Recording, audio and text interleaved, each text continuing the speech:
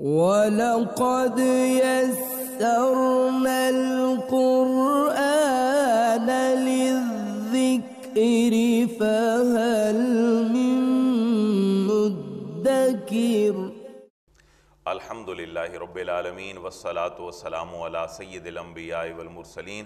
اما بعد، فاعوذ باللہ من الشیطان الرجیم. بسم اللہ الرحمن الرحیم. قابل صاحب اللہ کا فضل ہوا اور اس کا کرم ہوا کہ بیس پارے ہمارے مکمل ہوئے اور صورتوں کے اعتبار سے ایک سو چودہ صورتوں میں سے ٹوینٹی نائنتھ نمبر جو سورہ مبارکہ ہے وہ ہماری جاری ہے۔ یعنی ایک سو چودہ میں پہلے بیس پاروں میں انتیس صورتیں صرف ہیں۔ باقی جو دس پارے ہیں وہ چونکہ صورتیں بڑی چھوٹی ہیں اور آغاز میں آپ نے دیکھا تھا سورہ بقرہ ڈھائی پاروں پہ تھی۔ پھر سورہ آل عمران، سورہ نساء، سورہ معدہ تو پاروں پاروں پہ، ڈھائی ڈھائی پاروں پہ مشتمل صورتیں تھیں۔ تو یہ آخری فیز ہے اپنے اشرے کے اعتبار سے جس کا آغاز ہم کر رہے ہیں۔ اور اگر صورت کا ہم ریفرنس ٹو دی کانٹیکس دیکھیں، تو ہم نے یہ جو صورت پڑھی اور سیکھی آج تک اس کی چوالیس آیات اس صورت کا نام تھا جی۔ ان کبوت جس کا معنی ہے مکڑی۔ اور مکڑی کا گھر کمزور ہے مشرقین کے جو فکر اور عمل ہے، اس کو بڑے کمزور گھر سے تشبیح دی گئی ہے۔ آپ نے اس صورت میں دیکھا تھا جو آباب روزانہ کی بنیاد پر شریک ہوتے تھے۔ اللہ رب العزت نے اہل ایمان کو تسلی دی، کیونکہ یہ جو صورت نازل ہوئی، یہ ہجرت سے پہلے مکی دور میں نازل ہوئی۔ اور مسلمانوں کے اوپر بڑے مظالم ڈھائے جاتے تھے، ان کو بھی تسلی دی گئی۔ اور پھر نبی پاک صلی اللہ علیہ وسلم کو جو آپ کا انداز تبلیغ تھا اور انداز دعوت تھا، اس میں حضرت نو علیہ السلام، حضرت ابراہیم علیہ السلام، حضرت لوت علیہ السلام اور جو اس ان کے وقتوں کے بڑے بڑے متکبر اور جابر حکمران تھے، منکر، فرعون، حامان، قارون، ان کی مثال دی گئی۔ اب یہ جتنی تمہید بن دی گئی تھی چوالیس آیات میں اہل مکہ کے سامنے، اب جو ہے وہ ان کو احکامات سکھائے جا رہے ہیں مکی صورتوں کے اعتبار سے، جو سب سے بڑی تعلیم ہے مکارم اخلاق کی اور اخلاق حسنہ کی۔ کیونکہ آپ نے یہ دیکھا ہے کہ زیادہ تر جو باتیں ہیں وہ مکی صورتوں میں عقائد کے حوالے سے ہوتی ہیں۔ اچھا یہ وہ وقت ہے جب تک ابھی مسلمانوں کو ہجرت مدینہ کا حکم نہیں ملا۔ یہاں مسلمانوں نے ایک ہجرت کی تھی، آپ کو یاد ہو تو ہجرت حبشہ کی طرف۔ جہاں کا جو بادشاہ تھا نجاشی اسحمہ وہ بڑا جو ہے وہ کریم تھا مسلمانوں کے اوپر۔ تو وہ اہل کتاب اور عیسائی تھے۔ تو وہ جو لائے عمل ہے، اس کے حوالے سے مسلمانوں کو آداب سکھائے جا رہے ہیں۔ حضرت لوت علیہ السلام کی قوم کی برائی کا تذکرہ تھا۔ وہ جو ہے وہ فحش اور جو بے حیائی اور برائی کے کام تھے، ان میں ملوث تھی۔ حضرت شعیب علیہ السلام کی جو قوم ہے، وہ ناپ تول میں کمی کیا کرتی تھی۔ حضرت نو علیہ السلام کی قوم جو ہے وہ منکر تھی۔ حضرت ابراہیم علیہ السلام کی قوم کی طرف بھی چند باتیں منصوب تھیں۔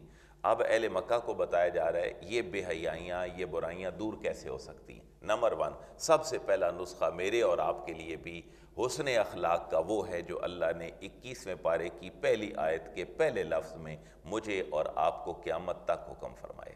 مکے کے اخلاق بھی سمجھ سکتے ہیں اور ہمارے اخلاق بھی قیامت تک سمجھ سکتے ہیں، لیکن ان باتوں کے اوپر عمل کیا جائے تو۔ وہ کیا بات ہے جی ذرا دیکھیں۔ اعوذ باللہ من الشیطان الرجیم، بسم اللہ الرحمن الرحیم۔ اتلو، اس کا لفظ ہم ترجمے کا اردو میں بھی استعمال کرتے ہیں۔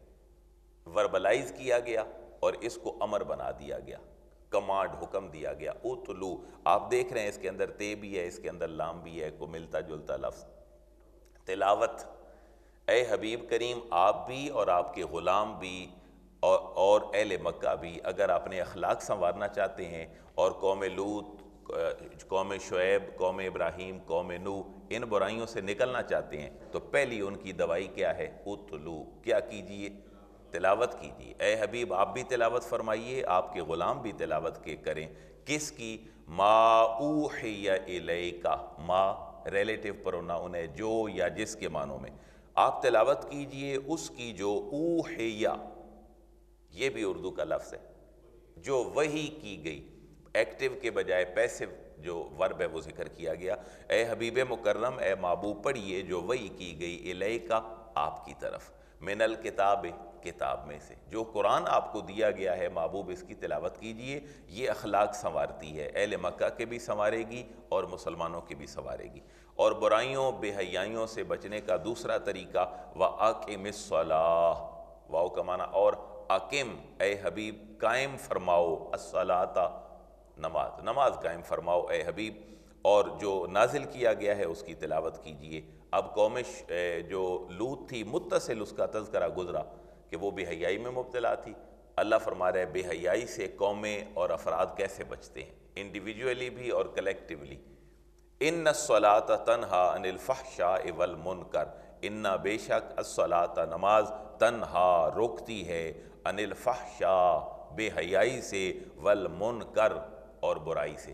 تو بے حیائی کا مرتبہ تھوڑا برائی سے زیادہ بڑا ہوتا ہے۔ آج جو میڈیا میں اور بڑے بڑے سائن بورڈ، گلی محلے میں ہمیں ایک خواتین کی ایڈورٹیزمنٹ کے نظر آتے ہیں، وہ برائی تو ہے ہی ہے، لیکن اس سے زیادہ وہ کیا ہے؟ بے حیائی ہے۔ تو نماز بے حیائی سے بھی روکتی ہے اور نماز برائی سے بھی روکتی ہے۔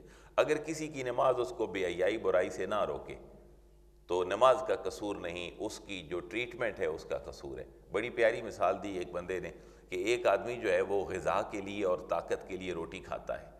پھل فروٹ کھاتا ہے، لیکن کھانے کے پانچ منٹ بعد ہی وہ کہے اور الٹی کر دیتا ہے انگلی مار کے۔ اب وہ دو مہینے بعد کہتا ہے، میں تو بڑی اعلیٰ خوراک کھاتا ہوں، لیکن میرے تو جسم کو نہیں لگ رہی۔ تو کھا تو وہ رہا ہے، لیکن اس کے ساتھ ساتھ اس کا اثر بھی تو وہ نکال رہا ہے۔ اس لیے جو نماز پڑھتا ہے اور بے حیائی برائی سے نہیں رکتا، اس کے نماز کے قیام کے اندر فرق ہے۔ ورنہ نماز کا نسخہ اللہ یہی فرما رہا ہے کہ نماز بے حیائی سے بھی روکتی ہے اور برائی سے بھی روکتی ہے۔ یہ دیکھیں، یہ دو باتیں ہیں جو ہر زمانے میں انفرادی اور اجتماعی سطح پر لوگوں کے اخلاق سنوارتی ہیں۔ نمبر ون، تلاوت کتاب اور نمبر ٹو، نماز کا قیام۔ یہ ہر بندے مومن اگر آج بھی اپنا لے اور حکومتی سطح پر جو ہے وہ اس کی جو ہے وہ پذیرائی ہو اور اس کو قانوناً جو ہے وہ ہر بندے میں شامل کر لیا جائے اقامت صلاحات میں، تو قومیں آج بھی سنور سکتی ہیں۔ والا ذکر اللہ اکبر نماز کے فوراً بعد کیا فرمایا؟ واؤ کمانا اور، لام تاکید کے لیے، بے شک، ذکر اللہ۔ اللہ کا جو ذکر ہے، اکبر، وہ بہت بڑا ہے۔ ایک نقطہ چھوٹا سا آپ نوٹ کر لیں کہ یہ یہاں سے کون سا ذکر مراد ہے؟ پہلے کون سی چیز آ گئی؟ تلاوت۔ پھر کس چیز کا حکم آیا؟ نماز کا۔ اور نماز کے بعد کیا کہا؟ والا ذکر اللہ اکبر۔ اللہ کا ذکر جو ہے، وہ بہت بڑا ہے۔ اچھا نماز بھی ہو گئی، تلاوت بھی ہو گئی، یہ ذکر کون سا ہے؟ اس اس ذکر کا حکم امیجیٹلی آفٹر نماز ہے۔ یعنی نماز پڑھو، نماز بے حیائی اور برائی سے روکتی ہے اور اللہ کا ذکر سب سے بڑا ہے۔ اس کے اوپر مفسرین نے اور اہل محبت نے لکھا ہے کہ نماز کے بعد جو ذکر کیے جاتے ہیں، اس سے مراد وہ ذکر ہے۔ اب کون سے ذکر کیے جاتے ہیں؟ ہر مکتبہ فکر کوئی نہ کوئی ذکر ضرور کرتا ہے۔ لیکن ہمارے ہاں المیہ یہ ہے کہ ہم دوسرے کے ذکر کو پسند نہیں کرتے۔ میں چیلنج کر کے کہہ رہا ہوں، موجودہ روایتی سارے مسالک نماز کے بعد ذکر کرتے ہیں۔ اہل سنت و جماعت بریلوی مکتبہ فکر میں کیا ذکر کیا جاتا ہے؟ لا الہ الا اللہ۔ اہل حدیث حضرات کی مسجد میں کیا ذکر ہوتا ہے؟ اللہ اکبر۔ جو دیوبند حضرات ہیں وہ بھی ذکر کرتے ہیں۔ لیکن دوسرا ذکر ہمیں دوسرے کا پسند نہیں۔ لیکن سیکوینس دیکھیں۔ ذکر کرنا فرض نہیں ہے۔ ذکر کرنا واجب بھی نہیں ہے۔ ذکر کرنا نبی پاک صلی اللہ علیہ وسلم کی سنت ہے۔ حضرت ابن عباس فرماتے ہیں کہ ہماری اگر نماز کی کوئی دیر سویر ہو جاتی تو ہم مسجد نبوی میں اگر کوئی بلند ذکر ہوتا تو ہم اس سے پہچان لیتے کہ جماعت ہو گئی اتنی بلند آواز سے صحابہ اور نبی پاک صلی اللہ علیہ وسلم ذکر فرماتے تھے۔ اب وہ اللہ اکبر بھی سنت سے ثابت ہے۔ اور افضل و ذکر لا الہ الا اللہ، بہترین ذکر لا الہ الا اللہ ہے، یہ اہل سنت کی مساجد میں ہوتا ہے۔ نماز کے بعد ذکر ایک اور ہے، آیت الکرسی، جو تمام قرآنی آیات کی سردار ہے۔ تو نبی پاک صلی اللہ علیہ وسلم نے اس کے پڑھنے کی بھی تعلیم دی ہے۔ اس کے بعد اور ذکر کیا ہے؟ سبحان اللہ، الحمدللہ، اللہ اکبر، تینتیس دفعہ تینتیس دفعہ، چونتیس دفعہ، یہ کس کا ذکر ہے؟ یہ اللہ کا ذکر ہے۔ یہ جو ربط ہے کلام کا، اس کو دیکھیں تو نماز کے بعد پھر فرمایا جا رہا ہے، اللہ کا ذکر جو ہے وہ بہت بڑا ہے۔ اس کی پھر بہت صورتیں ہیں۔ قلبی ذکر ہوتا ہے، زبانی ذکر ہوتا ہے، عملی ذکر ہوتا ہے، یہ سارے کے سارے اذکار ہیں۔ واللہ یعلم ما تصنعون، اور اللہ تعالیٰ یعلم و جانتا ہے ما تصنعون، جو تم کرتے ہو، اللہ اس کو خوب جان رہا ہے۔ اب میں نے چونکہ عرض کیا کہ یہ صورت مدینے جانے سے پہلے نازل ہوئی۔ اور مدینے جانے سے پہلے مسلمانوں نے ہجرت کی تھی حبشہ کی طرف۔ تو حبشہ میں کون رہتے تھے؟ کرسچن، عیسائی اور اہل کتاب تھے۔ اب ان کے ساتھ جو انداز گفتگو ہے مسلمانوں کا، اس کے آداب بتلائے جا رہے ہیں۔ پہلے اس کا مفہوم سن لیں، پھر ہم آگے چلتے ہیں۔ مفہوم کیا ہے؟ اللہ فرما رہے محبوب آپ اور آپ کے غلام، اگر عیسائیوں سے، یہودیوں سے، اہل کتاب سے کوئی گفتگو کا انداز اپنائیں تو وہ کیسا ہو؟ پہلے جو کامن ٹیچنگ ہے ان کی طرف ان کو لائیں۔ آپ کسی اہل کتاب کے اوپر چڑھ نہ دوڑیں کہ تم عیسیٰ کو اللہ کا بیٹا مانتے ہو، میں تمہارے ساتھ بات ہی نہیں کرتا۔ اور یہودی جو ہے، ان کو کہا جائے تم حضرت عزیر کو اللہ کا بیٹا مانتے ہو، جاؤ دفع ہو، جاؤ، میں تمہاری بات نہیں سنتا۔ اللہ فرما رہے تمہارا انداز گفتگو یہ نہیں ہونا چاہیے۔ انداز گفتگو کیا ہو؟ پہلے جو سملر اور بڑی کامن سی ٹیچنگ ہے عیسائیوں، یہودیوں اور مسلمانوں میں، پہلے انہیں ان کی طرف لاؤ۔ پھر تمہارے اندر اور ان کے اندر محبت پیدا ہوگی، پھر تم آگے چلو گے۔ لیکن یہاں ایک اور بات بھی کہہ دی کہ کیا ہر اہل کتاب سے انداز گفتگو یہی ہونا چاہیے؟ نہیں۔ اللہ فرما رہے کچھ اہل کتاب بڑے اگریسو اور ظالم بھی ہوتے ہیں۔ ان کے ساتھ تمہارا انداز گفتگو یہ نہ ہو کہ جی تم بھی جو ہے وہ اللہ کو مانتے ہو، ہم بھی مانتے ہیں۔ نہیں، ان کے ساتھ پھر فرمایا، تمہارا انداز گفتگو کرخت ہونا چاہیے۔ یہ دونوں باتیں اس جو ہے وہ دو آیات کے اندر ہیں۔ ولا تو جا دلو اہل الکتاب واؤ کمانا اور لا نہ تو جا دلو جدال کرو، ڈیبیٹ کرو، اے مسلمانوں اہل الکتاب کس کے ساتھ؟ اہل کتاب کے ساتھ۔ یعنی خصوصاً یا مراد ہیں کرسچن، کیونکہ حبشہ کی طرف جو ہجرت کا تناظر ہے، وہ اس صورت کے ارد گرد ہے۔ اللہ بلتی ہے یا احسن جھگڑو نہیں ان سے، جدال نہ کرو، ڈیبیٹ نہ کرو اللہ مگر بلتی اس طریقے پر کرو ہے یا احسن جو کیا ہے، بڑا احسن ہے اور بڑا کمال انداز ہے۔ اچھا کچھ لوگ پھر ان میں سے بڑے بے وقوف قسم کے بھی ہیں، اہل کتاب، گلے پڑ جاتے ہیں۔ فرمائے الَّذِينَ ظَلَمُوا مِنْهُمْ، سوائے ان کے کہ ظَلَمُوا مِنْهُمْ، جو ان میں سے ظالم ہیں۔ ان کے ساتھ انداز گفتگو جو ہے، وہ پلائٹ نہیں ہونا چاہیے، وہ احسن نہیں ہونا چاہیے۔ وقول، اب پھر تم کہو کیا؟ وَقُولُوا آمَنَّا بِالَّذِي أُنزِلَ إِلَيْنَا۔ عام اہل کتاب سے اگر تم نے بات کرنی ہو تو کیسے کرو؟ واؤ کمانا اور کولو کہو، ان کو آمنا، ہم ایمان لائے باللزی اس پر، انزل الینا، جو ہماری طرف نازل کی گئی وَأُنزِلَ إِلَيْكُمْ اور جو تمہاری طرف نازل کی گئی۔ ہم تمہاری انجیل کو بھی مانتے ہیں جی ہم تمہاری تورات کو بھی مانتے ہیں، ہم تمہارے زبور کو بھی مانتے ہیں۔ یہ تمہارا انداز گفتگو ہونا چاہیے۔ اور پھر ایک اور کامن ٹیچنگ کیا ہے؟ وَإِلَاهُنَا وَإِلَاهُكُمْ وَاحِدْ۔ اہل کتاب سے محبت سے بات کرو اور ان کو کہو واؤ کا معنی اور۔ الہنا ہمارا الہ، ہمارا معبود۔ و الہکم اور تمہارا معبود۔ واحد۔ وہ ایک ہے، تم اللہ کو مانتے ہو، ہم بھی اللہ کو مانتے ہیں، لہذا قریب آ جاؤ۔ وَنَحْنُ لَهُ مُسْلِمُونَ اور ہم ہی اس کے حضور اپنی گردن جھکانے والے ہیں۔ تو مسلم کا معنی یہ ہے سبمٹ کر دینا، اپنی گردن جھکا دینا، اللہ رسول کی اطاعت میں آ جانا۔ وَكَذَلِكَ أَنزَلْنَا إِلَيْكَ الْكِتَابِ۔ اور اے ما، اے حبیب مکرم، اسی طرح انزلنا، ہم نے نازل فرمائی ہے الیکا آپ کی طرف الکتابہ۔ یہ کتاب قرآن مجید۔ فَالَّذِينَ آتَيْنَاهُمُ الْكِتَابَ يُؤْمِنُونَ بِهِ تو وہ لوگ کہ جنہیں ہم نے کتاب عطا فرمائی، اس پر وہ ایمان لاتے ہیں۔ وَمِنْ هَا أُولَاءِ مَنْ يُؤْمِنُ بِهِ اور کچھ ان میں سے وہ ہیں جو اس کے اوپر بھی ایمان لاتے ہیں۔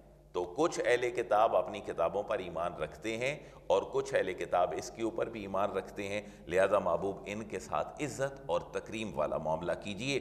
وَمَا يَجْحَدُ بِآيَاتِنَا إِلَّا الْكَافِرُونَ واؤ کمانا اور ماں نہیں، یجحد و انکار کرتا بے آیاتنا، ہماری آیات کا۔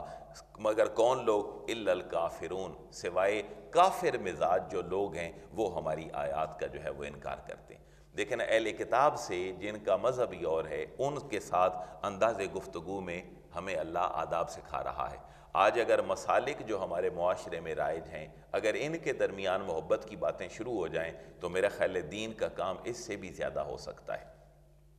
جتنا ہم ایک دوسرے کے خلاف وسائل اور طاقتیں خرچ کرتے ہیں، اتنا اگر کفار کے خلاف ہوں، تو اللہ مسلمانوں کو اکٹھا کر کے دین کا بڑا کام لے سکتا ہے۔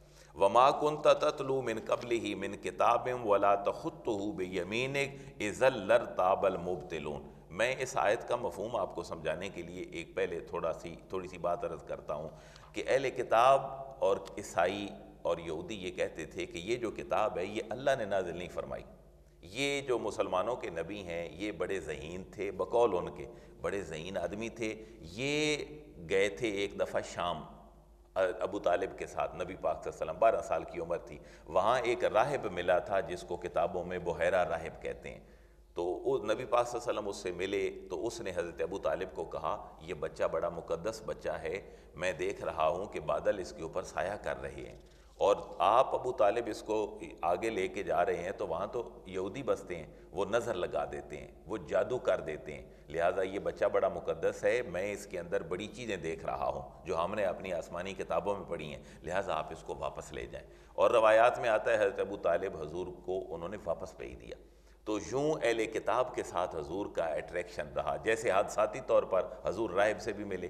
اب جب حضور نے اعلان نبوت فرمایا تو اہل کتاب کہنے لگے کہ یہ جو قرآن مجید ہے، یہ تو معاذ اللہ مسلمانوں کے نبی نے اہل کتاب کے جو راہب اور عالم تھے ان سے مل کے گھڑ لیا ہے، چھوٹی چھوٹی چیزیں بنا لی ہیں اور یہ کہہ دیا ہے کہ میرے رب نے میرے اوپر قرآن نازل فرمائے۔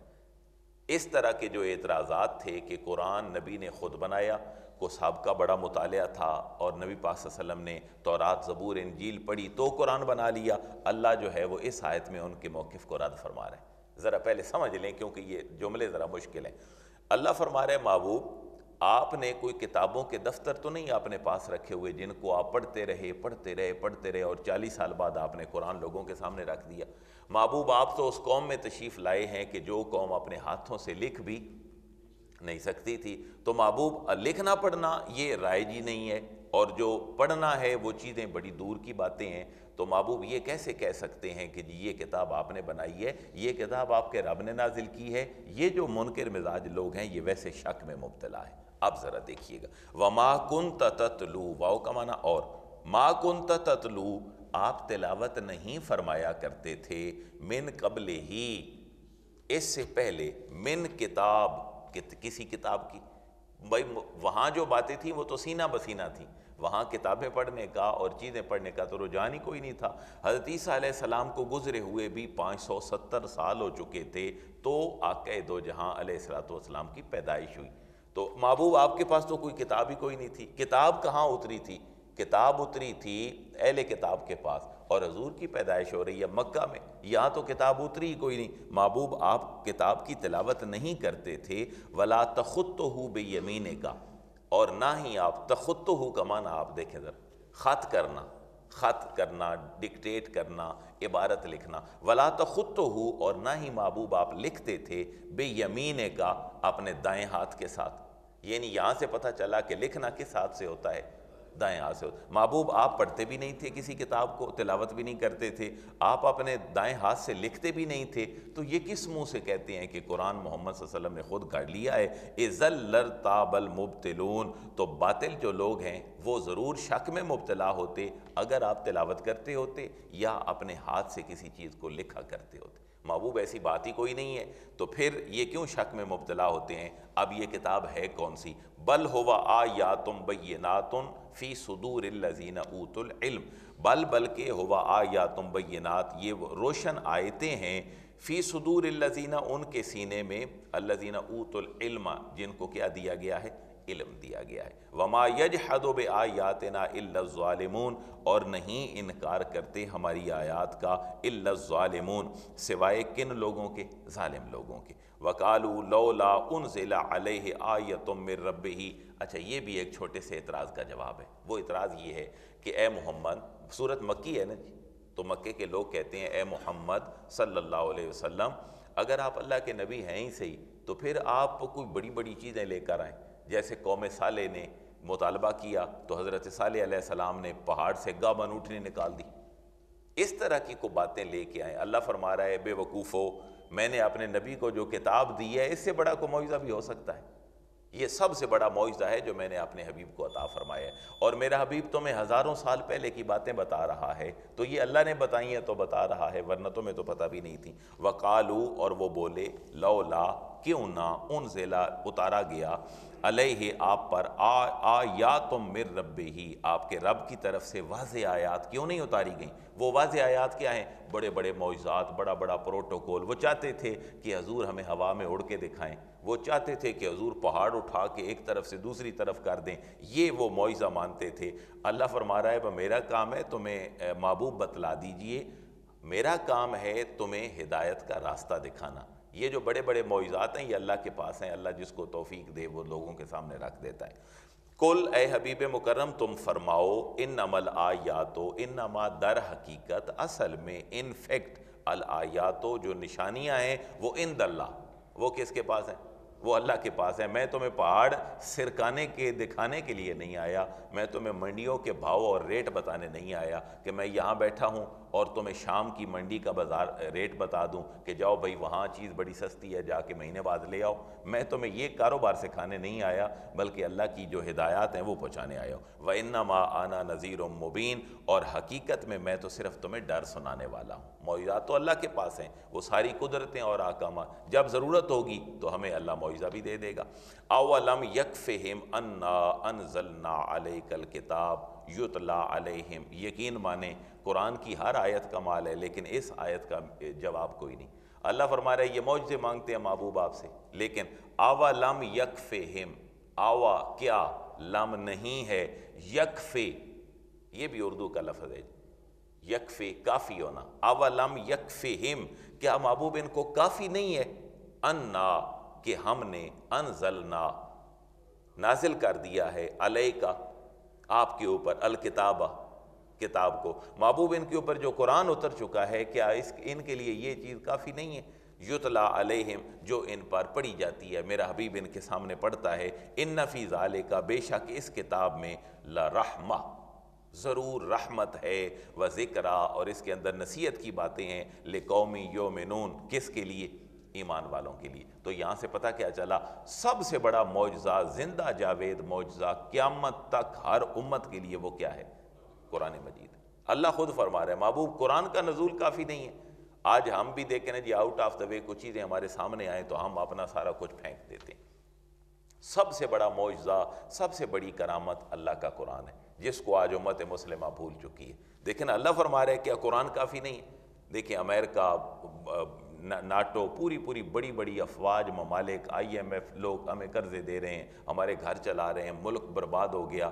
میری انفارمیشن کے مطابق وہ ایٹی سیون پرسنٹ جو ہے، وہ پاکستان کی جو اکانومی ہے، اس کا دار و مدار ہمارے قرضوں کے اوپر ہے۔ تیرہ پرسنٹ پاکستان اپنے معاملات کو خود جنریٹ کر رہا ہے۔ تو یہ جب آگے چلے جائیں گے تو پھر بربادی کا لیول کیا ہوگا؟ اللہ تو فرما رہا ہے، یہ کتاب پڑھ کے صدیق و عمر عثمان و علی نے پوری دنیا میں بریاز موتا کے اسلام کا کلمہ پہنچا دیا۔ آپ اندازہ فرمائیں لوگ صدقے، زکوٰۃ دینے والے ہوتے تھے، لینے والا کوئی نہیں ہوتا تھا۔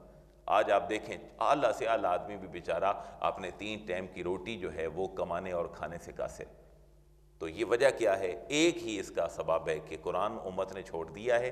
دنیا کی محبت دلوں کے اندر رچ بس گئی ہے۔ چوبیس گھنٹے ایک وہ جونی چکر اور سرکل ہے، انسان کی صلاحیتوں بس صبح ہوئی شام ہوئی، صبح ہوئی شام ہوئی، صبح ہوئی شام ہوئی۔ کیا کر رہے ہو جی؟ بس بچوں کی روٹی کما رہے ہیں۔ بینک میں کتنا پڑا ہے جی ڈیڑھ ایک ارب، دو ارب پڑا ہے جی باقی کو کیا کرنا ہے؟ جی مطلب دنیا داری کی جو محبتیں اور صلاحیتیں ہماری ساری صرف ہو رہی ہیں، یہ آیت جو ہے، یہ آب زر سے لکھنے کے قابل ہے۔ کیا قرآن کافی نہیں کہ ہم نے ان کے پاس اتار دیا ہے، میرا حبیب ان کے سامنے اس کی تلاوت بھی کرتا ہے، اس کے اندر رحمت بھی ہے، اس کے اندر نصیحت بھی ہے۔ تو قرآن تو بڑی رحمت ہوتا ہے۔ اللہ ہمیں اس کی توفیق عطا فرمائے۔ یہ الحمدللہ اکیسویں پارے کا پہلا رکوع ہو گیا۔ یہ صورت اب اپنے اختتام کی طرف بڑھ رہی ہے جی۔ اٹھارہ آیات مبارکہ اس کی باقی رہ گئی ہیں۔ اللہ ہمیں قرآن کے ساتھ اپنا تعلق مضبوط کرنے کی توفیق نصیب فرمائے۔ وما علیہ اللہ